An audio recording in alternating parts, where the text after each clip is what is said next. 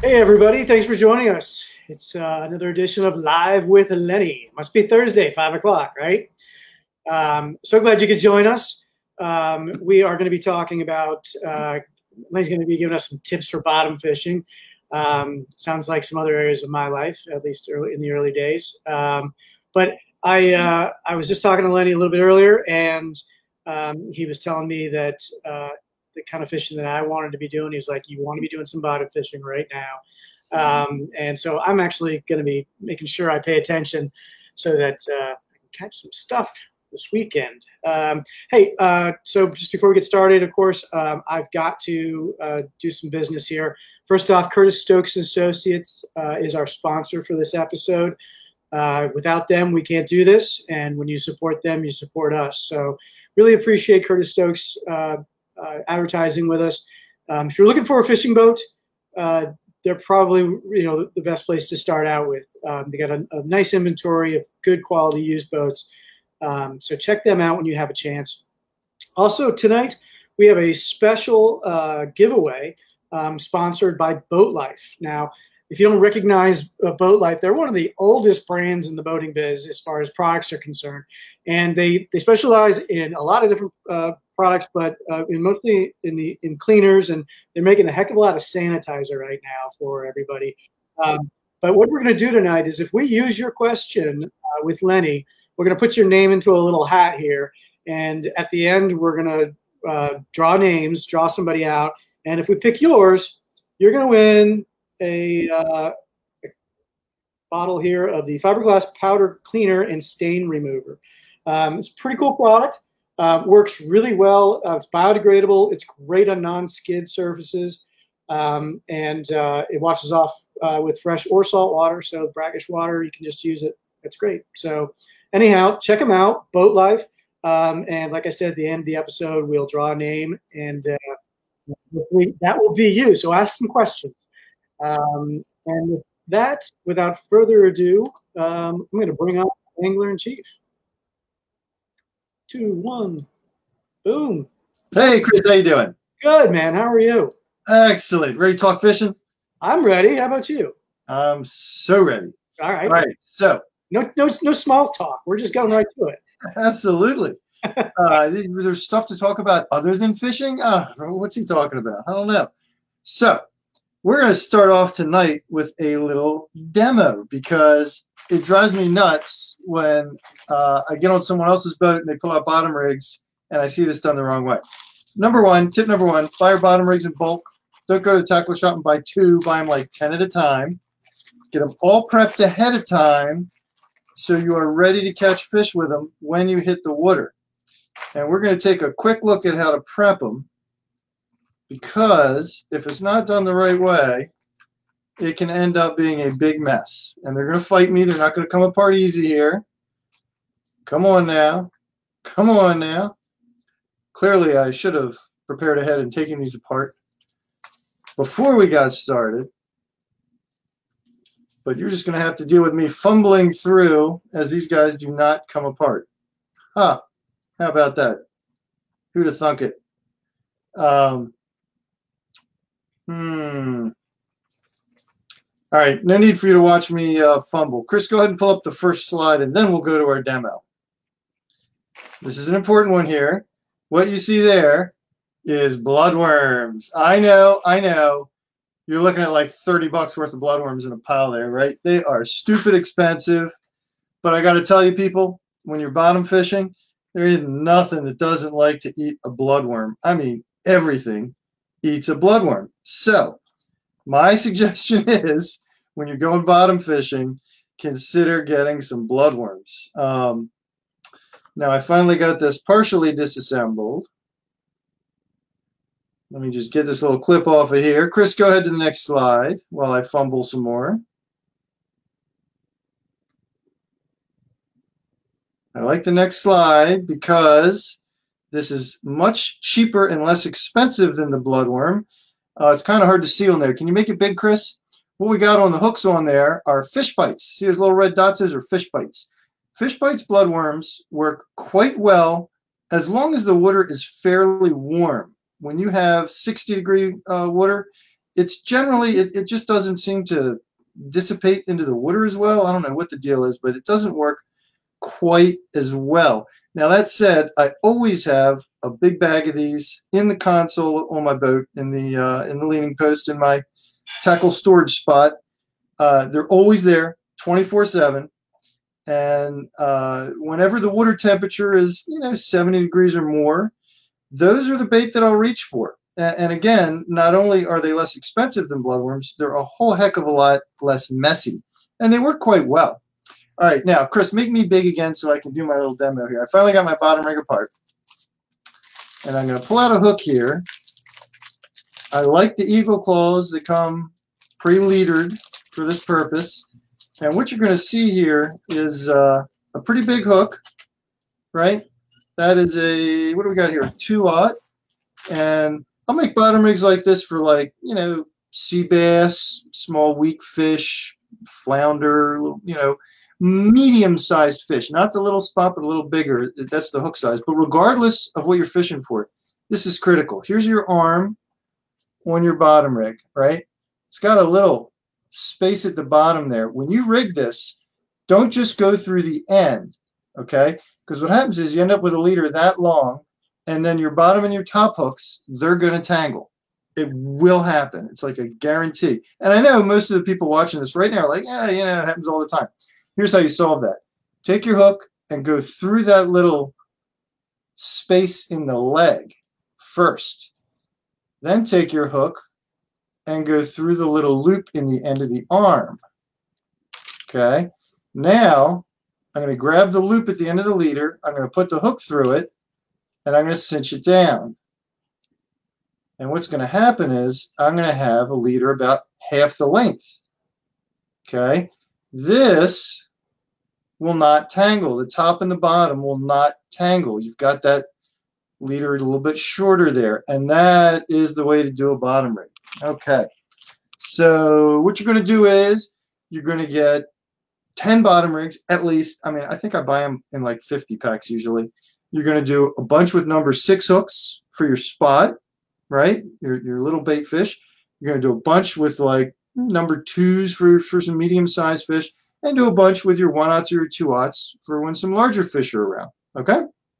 All right, Chris, take us on to the next slide there, the one after the uh, the spot on the fish bites. And uh, no, this fish wasn't caught bottom fishing. This fish was caught on the spot. And you can see it's the same people. That's that's my brother and one of my boys.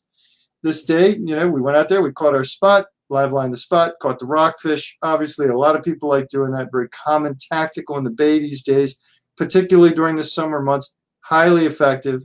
So uh, there's a great reason to go bottom fishing right there is just to get your spot. Now, I want to say one other thing about that, though.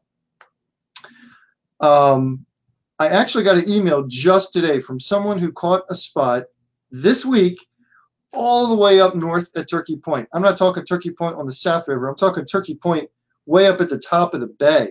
I was kind of shocked that that some have already made it up there, but evidently they have. And he asked me, should I live line with us? Well, you know, my answer would normally be, yeah, sure.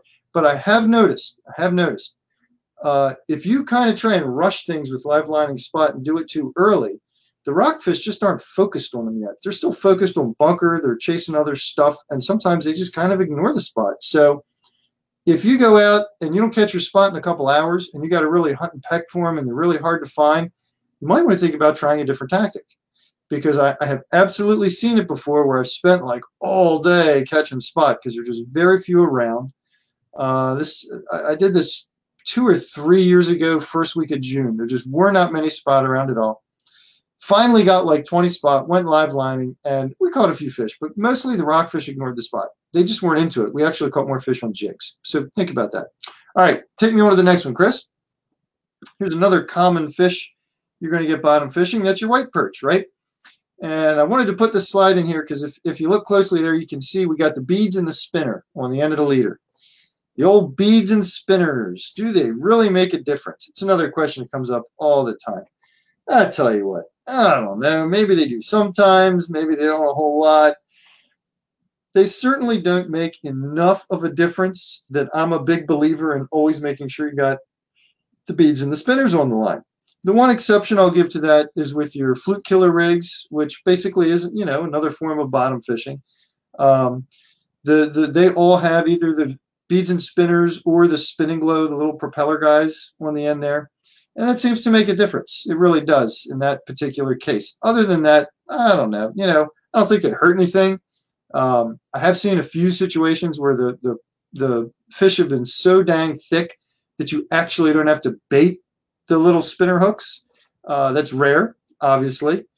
Um, so maybe you want to keep a pack on board for the, the you know once in a blue moon when that happens. But generally speaking, it's not something I pay a heck of a lot of mind to. All right, Chris, take us on to the next slide here. This perfectly illustrates what I personally love about bottom fishing. You can see in the background that is Thomas Point Lighthouse, and yes, that little boy is holding a black sea bass in his hand. I think we caught five or six that day, right around the rocks at Thomas Point.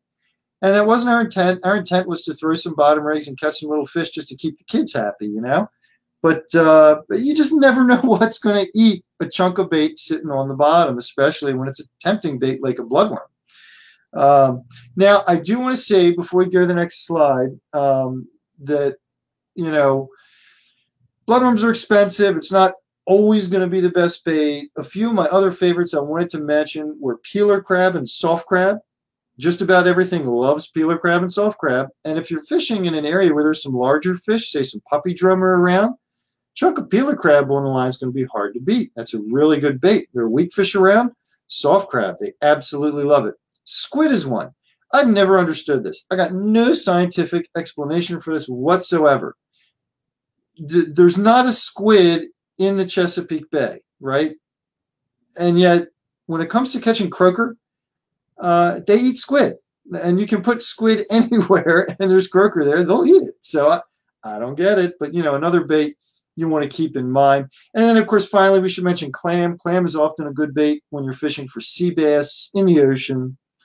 Um, so just, you know, some different baits you always want to maybe consider having on hand. All right, Chris, slide us over the next one here. Oh, we got the big fat horse croaker. I know what you people are thinking. Where can I get me some of them? Uh, yes, that is an old picture. Yeah, that was taken years ago. They've been hard to find. There have been some caught already, but it hasn't been, been big horses like this. There have been a few keepers down towards Point Lookout in Virginia Waters. Uh, I get asked all the time, what happened to the croaker? When are they going to come back? Did the netters kill them all?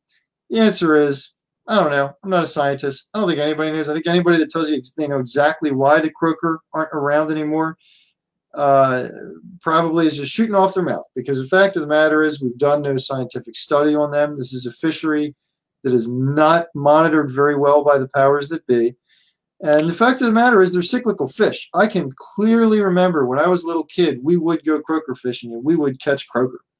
And then I clearly remember a long time frame I guess it would have been the 80s, um, when you just didn't see Croaker at all. Um, and that lasted into the 90s. And then at some point, we started seeing these big Croaker. They just kind of came back. Uh, well, and then, you know, early 2000s, they left again. Uh, some fish are cyclical, and that may be what's going on with this fish. I don't know. Weak fish are the same way. We hear a lot of chatter about weak fish. How come we don't catch weak fish anymore? Um, in my lifetime, I've seen them come and go at least at least three different times. And it seems like we're due to get them back. It's about time they, they reappear, and I sure hope they do. Uh, there were some weak fish caught last year way down the bay. There were a few up the bay in Maryland waters, but it was really more of a Virginia thing. You know, hopefully we'll see them again. I don't know. All right, Chris, move us on to the next slide. Here's another one. And I'm going to ask you people right now. Oh, I, I forgot to say, I should have said at the start. If you got questions, plug them in to the comments uh, we will answer them. And hey, you might win a boat life product, right? So why the heck not? Uh, sea robins. So here's my question to you. I want to know from you people, has anybody ever tried eating a sea robin? I have thrown back a gazillion sea robins in my lifetime, never even crossed my mind to try and eat one. And someone told me last year, hey, they actually taste pretty good. But for all I know, that could be a total rumor. So please, if you've eaten them, Pop it in the in the in the comments right now. I want to know what do they like. All right, take me to the next slide, Chris, because here's another wacky one that uh, nobody eats these fish, right? These are puffers. Very few, I should say, very few people eat them. I love them. These are actually really good eating when you get them big enough. Now, this picture of this puffer, and, and by the way, you'll get the puffers on pretty much all these baits, particularly bloodworms, all over the place. I've caught them as far north as the bridge. Um, last year, the Choptank was utterly full of them. Uh, not many real big ones, but lots of them, and you would get some big ones if you picked through them. This fish was caught in the Choptank, and I took him home and I put him in my fish tank. And I actually took this picture in the fish tank.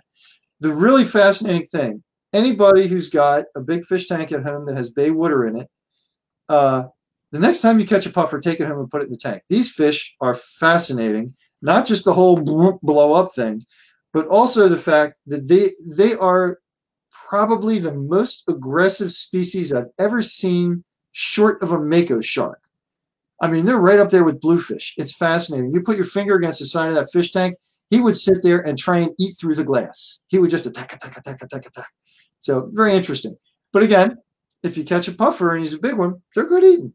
All right, take me to the next slide. Hey, Lenny, I'm going to put this question up. Um, hit, hit me. There we go. Your opinion on percentage from bloodworm to fish bites. So, Mark, I say it depends on the conditions and on the water. Uh, if it's 68 degree water, I think you're going to go two to one bloodworms. If it's 75 degree water, I'm not sure you're going to be able to tell any kind of difference. I'm really not. Um, and when I tested this, I started testing this years ago. The fish bites bloodworms have been around for a long time, uh, but I started testing this surf fishing um, because surf fishing, I consider bloodworm to be a critical bait. It, you get your kingfish on it, you get your spot on it, you get your croaker on it, your small fish. And a lot of times, what I'm doing is I'm running two rods, a little rod with bloodworms in a bottom rig, and a big rod with a big doodlebug rig, and I'm hailing way out there trying to catch, you know, your bigger fish, your bluefish, your rockfish. And what I really like to do, I like to catch a little spot and uh, cut them up or fish them whole on the on the big fish rig and throw them out there. So I'm always running that bloodworm rod. And what I found was, at least in the surf in the middle of the summer when the water temperature's up, I could not tell a difference. So in warm water, I don't think you can tell a difference. Once you get below that 70 degree mark, then it's a different story. Then you really need the bloodworm. All right. Question from Dan. Why do people have bloodworms at high? Oh, blood. Uh, now my phone goes off. I forgot to shut it off. Sorry about that, folks. Uh, fish bloodworms and night crawlers side by side in the Chesapeake Bay, and these fish we're talking about, bloodworms will outfish the night crawlers five to one. Five to one. You will have days when the night crawlers will catch absolutely nothing, and the bloodworms will catch tons and tons of fish. There's really no comparison. Now there are some exceptions there. White perch sometimes really like the uh, the night crawlers uh, particularly in the early spring when they're in the salt ponds. Sometimes night crawlers do great, but as a general rule of thumb, the bloodworms kick their butt. And yeah, they're expensive, but that's why I started out tonight by saying, spend the it's painful. Spend the money on the bloodworms. It's it makes a difference. All right, All right Chris, we got another question. We go to the next slide. Let's go to another question, and then we'll go.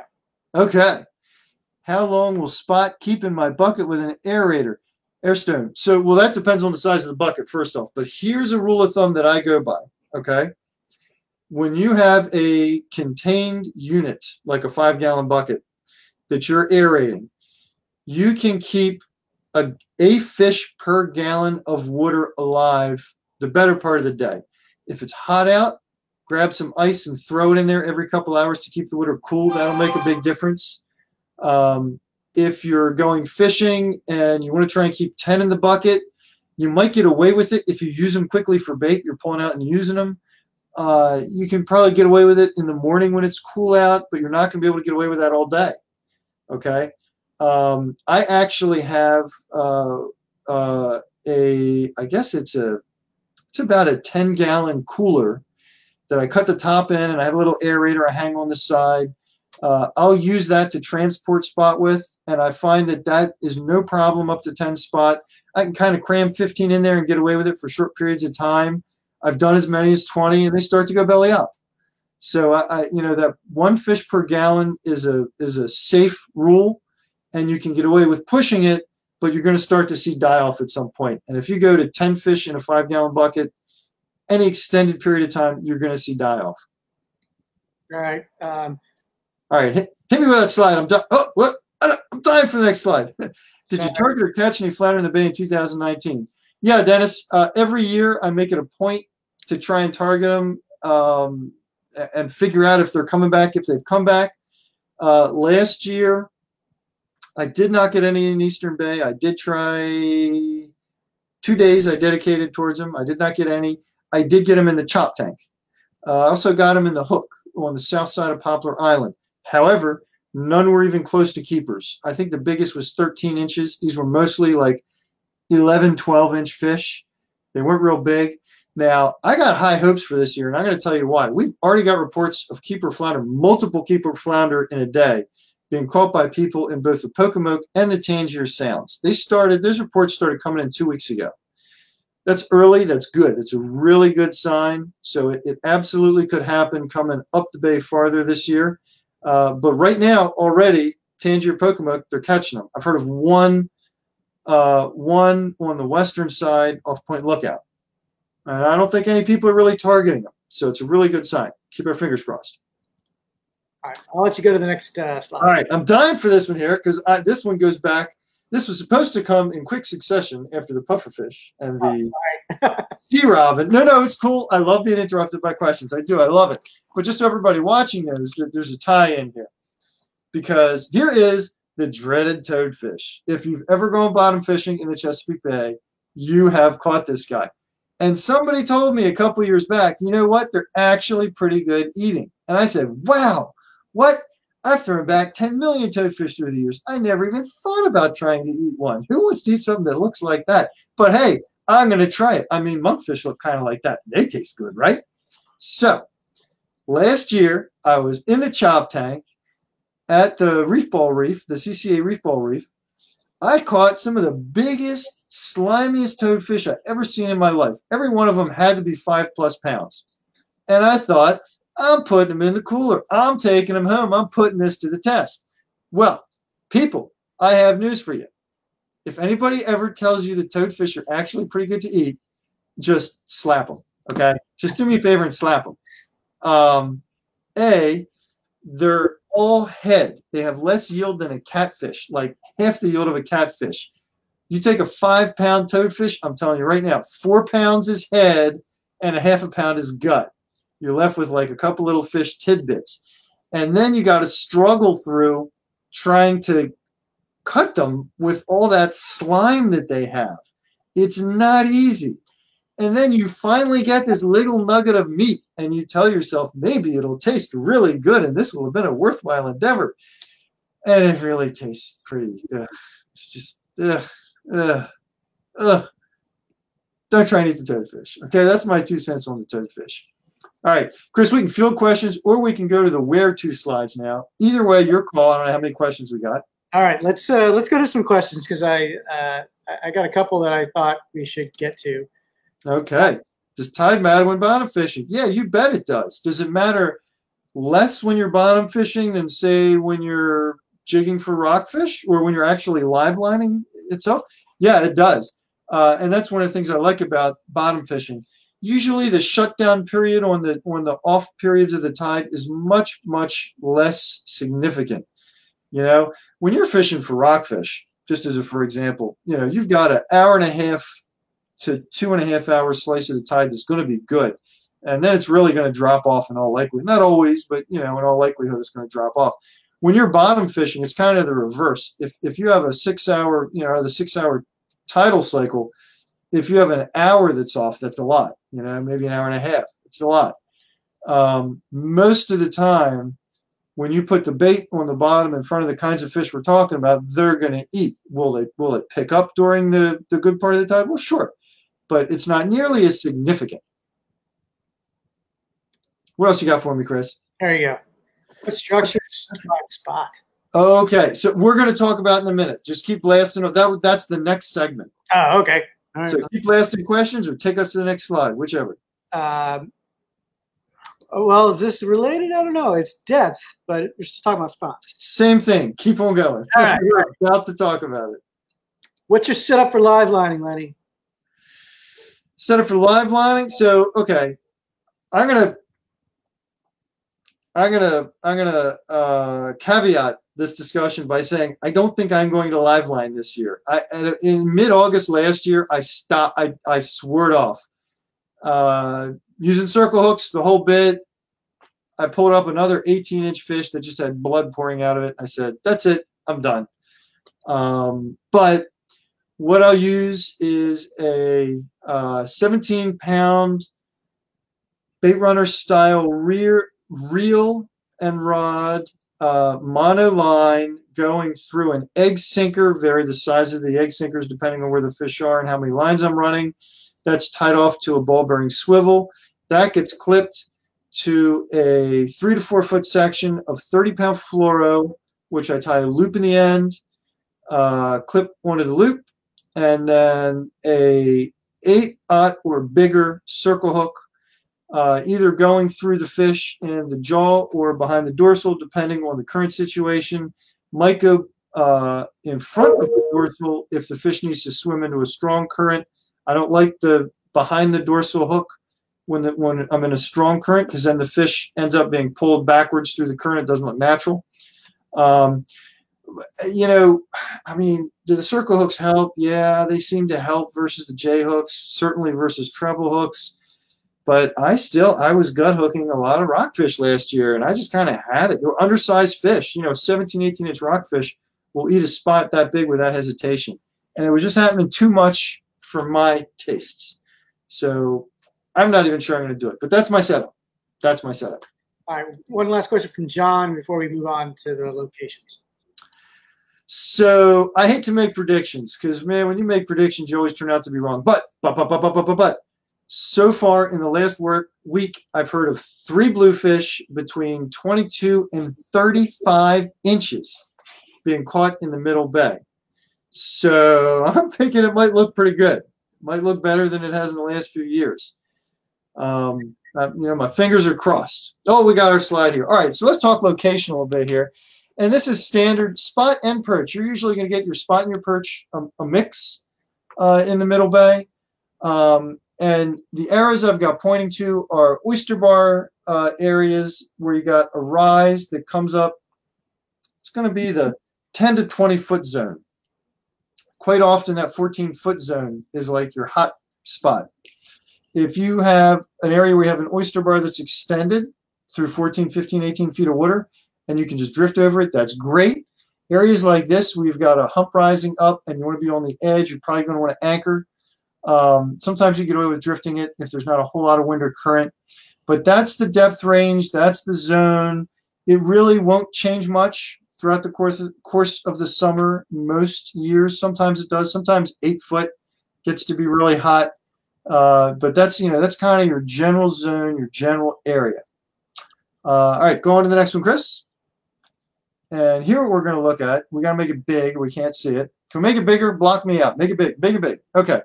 So what you're looking at here is an artificial reef in the Choptank River. It's a CCA reef ball reef. And um, that's the one where those toadfish came from. That's the one where that puffer fish came from. Uh, caught flounder there as well last year.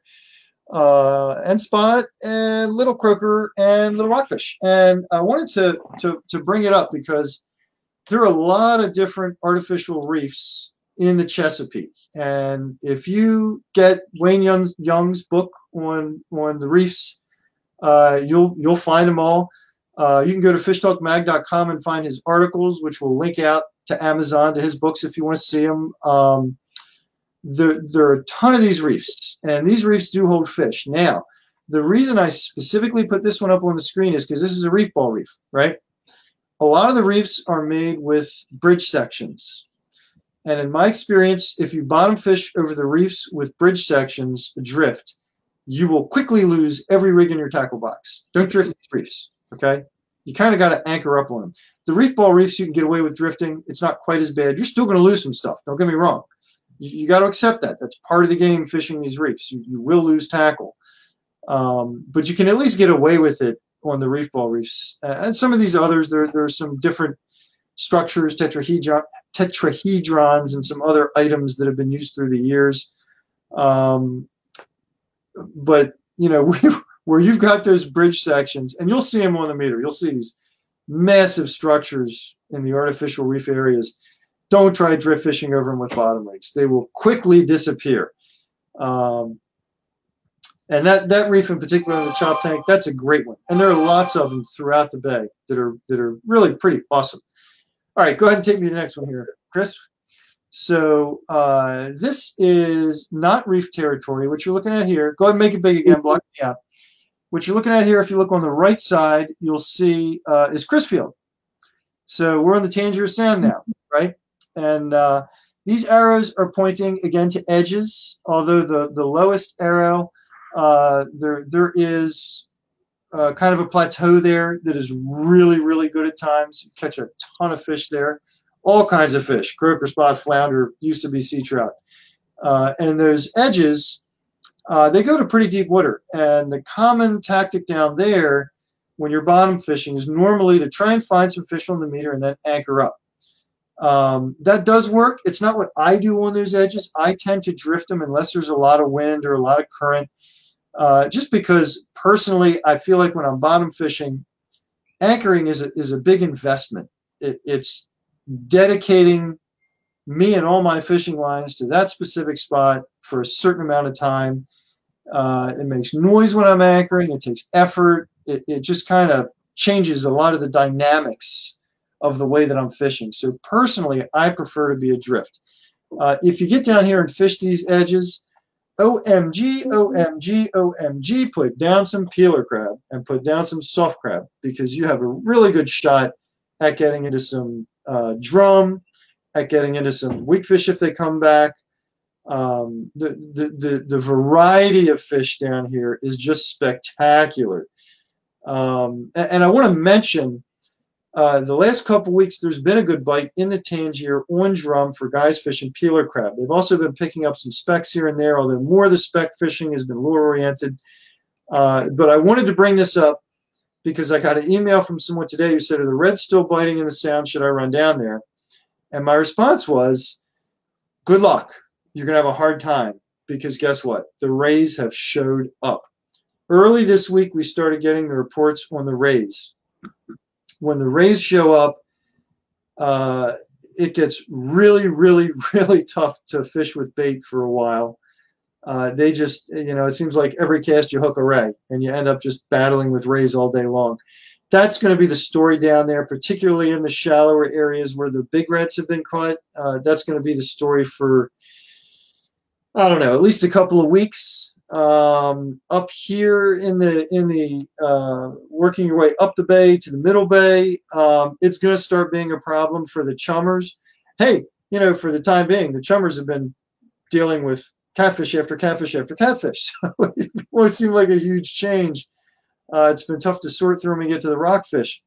Um, but the you know once the rays move in, it changes the dynamic. Now they'll do their thing. They'll scatter out. They'll disperse and won't be such a big deal anymore.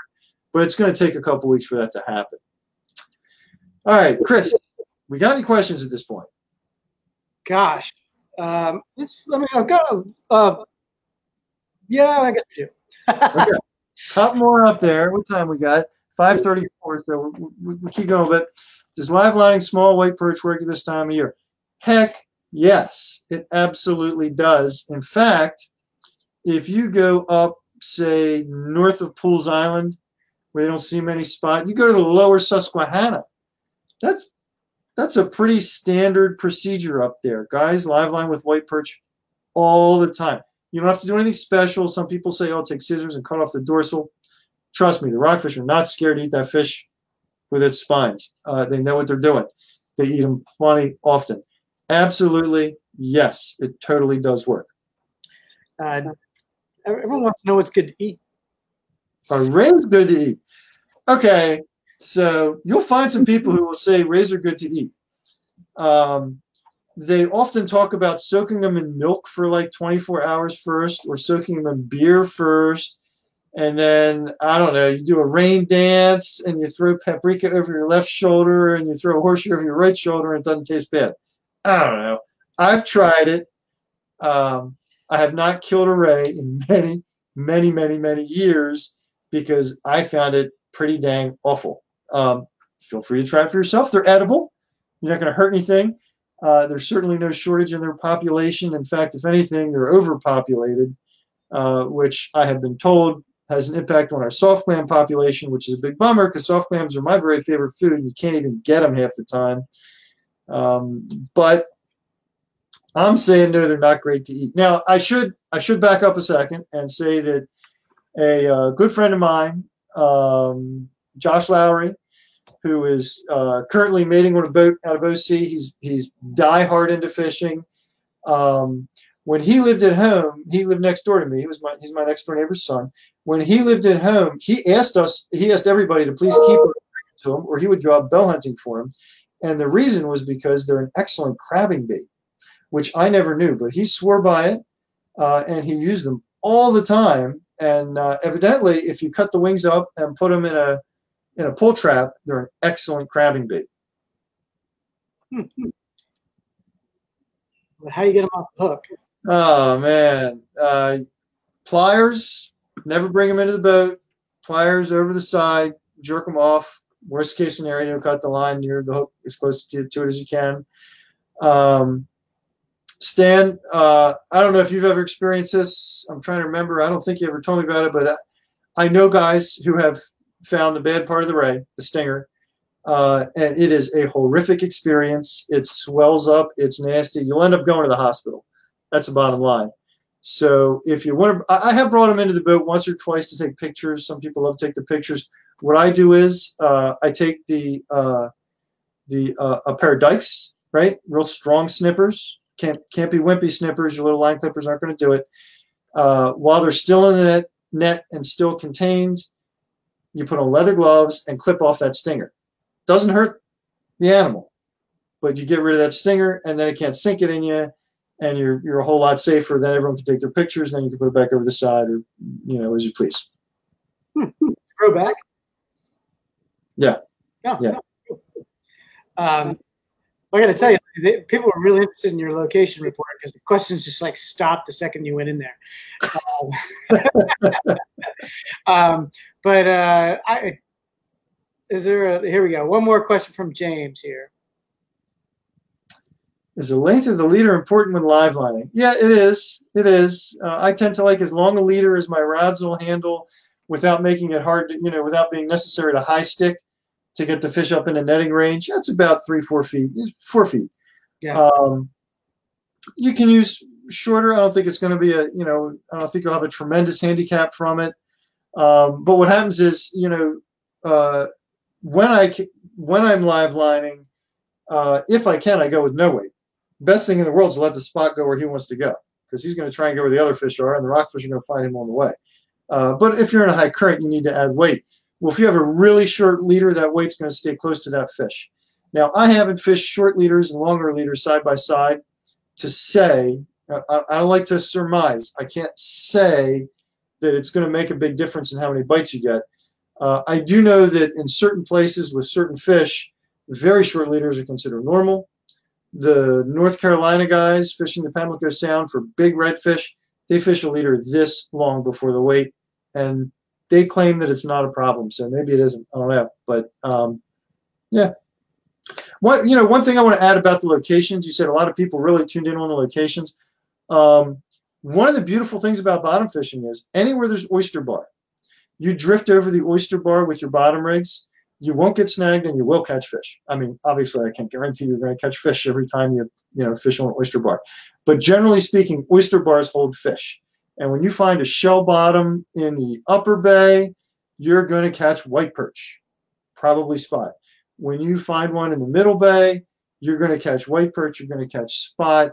Um, you don't know what else is going to pop up. Any of the species present in the lower bay could pop up. When you get down to the lower bay and you start dragging a bottom rig with a bloodworm over oyster bar, you're going to catch all kinds of stuff. You're going to catch little weak fish, little flounder, um, you know, put out some bigger baits, maybe get some bigger ones, uh, just all kinds of stuff. The the little sea bass, um, puffer fish, uh, sea robins, lizard fish, you know, uh, uh, rockfish, bluefish. It's just kind of an endless mix.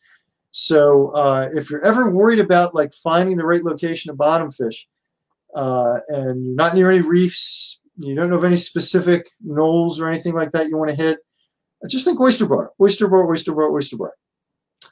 North Bay by Pooles Island, best location for spot perch.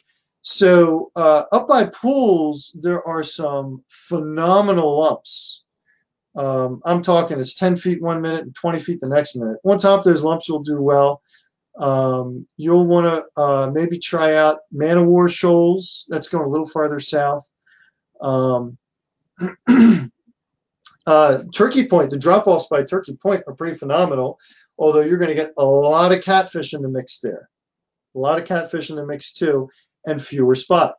Um, trying to think of other spots by Pooles. You know, when I was when I was younger and my dad had a bit of a bike and we would go there all the time. And th- those lumps on the south side of Pooles where it goes 20 feet, 10 feet, 20 feet, 8 feet, those are those are phenomenal. I would go right. That's one of my first spots. And just to by the way, you should be able to live line your spot there and catch your rockfish. Uh, we used to do an awful lot of eeling there. Uh, and there'd be boats coming from all over, from Solomons, to go eeling at Pooles Island. I'm, I'm, going back years and years ago, right after the moratorium opened. Um, there were there were 30 plus inch resident fish in the fall there. That that bite kept up for three four years. It was great. Uh, maybe a, a, believer in the thought that perhaps we limit the size of our resident fish more by our fishing practices than anything else because those were resident fish. It was fall. They were there. They were 35, 36 inches, some 38s. Um, and we know from the recent migratory study performed by Dave Secor and UMCES that uh, at 32 inches, the majority of the fish migrate out of the bay. And doesn't matter if they're male or female. They hit 32 inches, they're like, oh, huh, I can cruise up to New York now. And they do.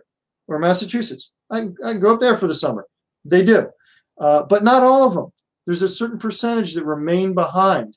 And when that moratorium went out after years and years of nobody targeting rockfish throughout the season, we had an awful lot of resident fish that were well over 30 inches. Like I said, it took three, four years. They kind of disappeared.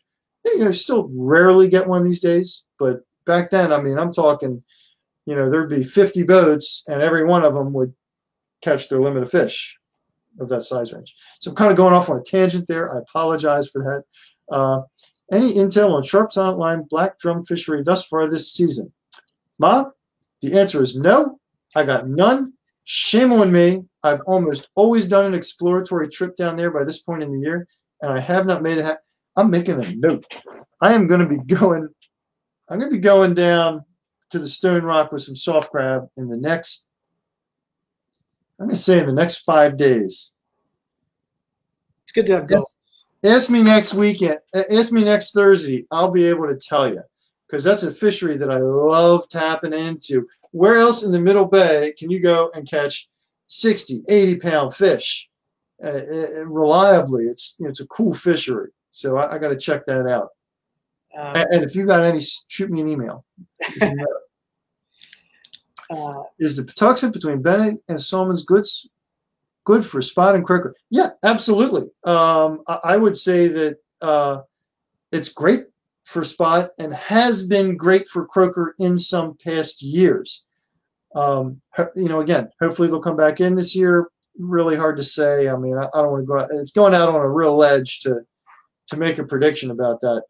Um, but yes, absolutely, you've got real good territory there. That is real good bottom fishing territory. Best location for spot near the Rhode River. So if you just go out to the mouth of the river where it meets the west, find some of those deeper drops. Um, if you want to go, uh, I know recently it's been good um, for a mix, more perch, but the spot are just starting up. This will this will kind of roll over and become more spot. Uh, inside the green number one, there's a if you if you look at where the green number one is at the mouth of the west and the south, and then you head west, you'll see a shelf where it comes up to 15 feet of water uh, rapidly. That's a real good shelf uh, historically, and there have been fish there already this year. So if you want to run out there, that's going to be a really good spot. Um, um, let's see, where else? Uh, inside the pound net at the mouth of the west there is often a good spot. Um, that you know, I haven't tried a whole bunch myself, so I, I can't tell you any beyond that right now. But those are all good spots. They should all be productive right now. Uh, and here's something from uh, Rich, but it's really not a question. He just wants you to run president. I was nice. Oh my God! Come on, Rich, give me a break. And a, and a good way to segue and uh, thank everybody for joining us. Um, we didn't get to everybody's question, but I but uh, as always, um, I know you'll go back and check them out Yes. and um, uh, and try and answer them as best you can. Uh, I'll go, I'll go right from here to Facebook before I eat dinner, and I will answer everything I possibly can. And folks, feel free to post them later on. I'll go back and I'll try and keep track of them. But wait, Chris, yeah, isn't someone about to win a prize? they are. I want to say congratulations to Dan Dunkers, who is the proud uh, recipient or will be of the Boat-LIFE fiberglass powder cleaner and stain remover. Um, Dan, I'm going to uh, instant message you and ask you kindly for your shipping address, and we'll get this into the mail for you ASAP. Nice. I want to thank everybody for all their questions and participating, and, uh, and of course, just for tuning in. And uh, if you have any questions, please post them in here. We try and get back, um, even post show, and, uh, and and answer those. And uh, we had a great audience tonight, by the way. Um, and I want to thank everybody for tuning in. Next week, um, we'll post up. We'll do another live with Lenny, obviously at uh, at five o'clock on Thursday. Um, we'll let, let you know the topic around Tuesday, Wednesday ish. um, It will be something. yeah, it'll be something. Can I make a special request, Chris? Sure, it's your show. Next week, can we give away a fishing lure? Sure, we can give away anything we want. Yeah, I think we should give away a fishing lure next week. All right. Well, you supply, I give away. um, so anyway, um, folks, if you enjoyed this and uh, you like what you hear, you like what you see, um, please uh, sign up for our emails. Make sure you like us on Facebook, all that good stuff, and and more importantly, share it with your friends. Say, hey, you guys got to check this out. Um, there's some good stuff going on, and if you're into fishing on the bay, um, please check out Fish Talk ma- magazine uh, when uh, when you get to your local bait and tackle shop, or look us up online at fishtalkmag.com. Look And, us and, up online. And Chris, I don't want to interrupt you, but I just want to mention the June edition just hit the streets. Yes, Just I, I got a, I got a I got an email from someone today about one of the pictures in it, and I was like, "Whoa, it's out! Yay!" I didn't even know yet, but it's out. new issue. Yeah. So, really happy about that. And you know, word on the street right now is that stores are opening up, businesses are opening. So uh, let's uh, obviously stay careful out there. Still practice good measures, but um, uh, get out there and grab your copy of Fish Talk and tell all your friends about it. And until then, thanks for tuning in, and we'll see you next week. Thanks, Lenny. Don't miss another cool fish talk video. Click below to subscribe.